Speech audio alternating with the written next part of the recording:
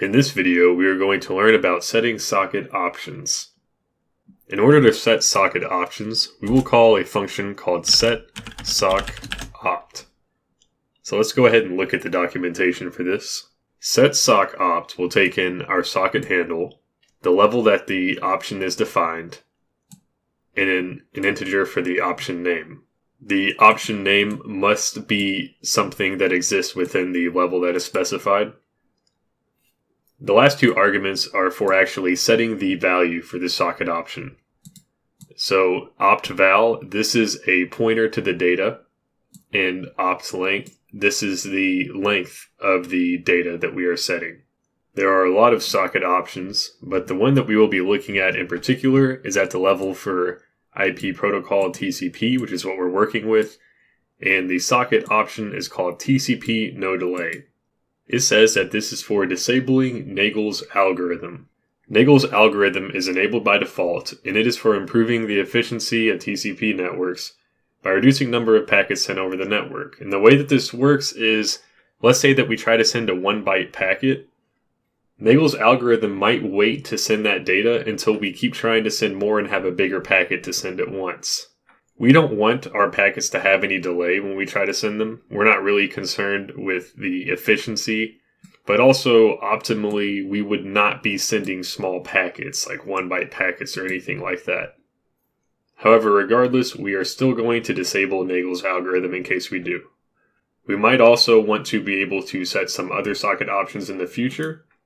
So what we're going to do is we're going to go ahead and add a new header file and have an enumerator for our socket options. socket option. I'm going to put this in the pnet namespace. And for now, we're just going to have the TCP no delay option, but in the future, we can add more. Next, let's go to our socket header.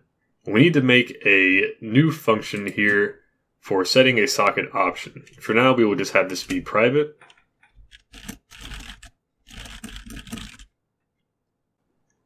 And we need to add our new include. So let's generate this definition. You'll notice that I used a bool with capital letters for the value.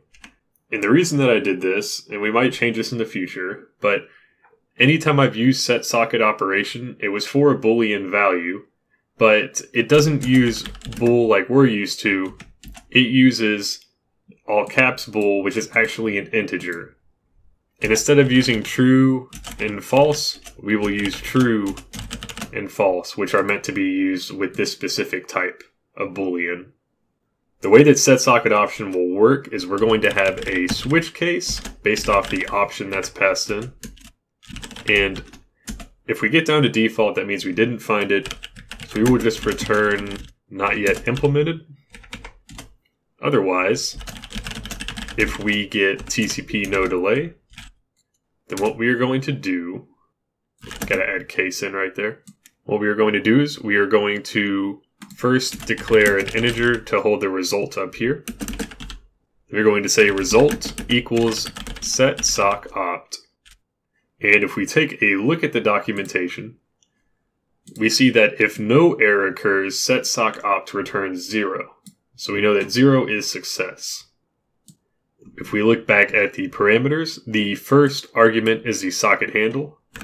So we'll go ahead and pass in the handle for the first argument. The next one is the level. Now, if we go down to the TCP no delay socket option, the level is IP proto TCP. So we're going to pass that in. Next is the operation name. It is TCP no delay. And then the pointer to the operation value, we're just going to pass in the address of value and then the length of that value. So we're going to pass in size of value. Since it expects a const char pointer, we are going to